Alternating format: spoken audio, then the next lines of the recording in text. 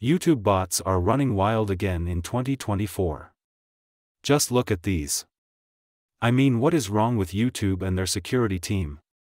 They used to fix hacked errors on their platform the same day, but now it seems like a bunch of monkeys are working over at YouTube. I'm getting tired of these ass bots. If you click on their profile, which I don't suggest you will be taken to a profile with a link. Whatever you do, don't click on it. It's designed to scam you. On many videos, whether it's car videos or political ones, you see these ass bots.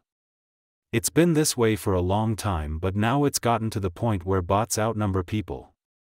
From the crypto scammers, to impersonation accounts, and now ass bots. Meanwhile, YouTube sits there and does nothing about it. It's almost as if they want these for engagement purposes. Shame on them. The hackers were able to scam even the biggest guys on YouTube with Gmail and it took them to get YouTube's attention. The Elon Musk live streams were or are still a big problem. Worst of them all are crypto scammers on any financial video. Be weary of them. Not to mention all the scam ads that stay on the platform when plenty of people have reported them. Always double check things, never give out your personal information on some random website. Google is no longer a secured search engine either.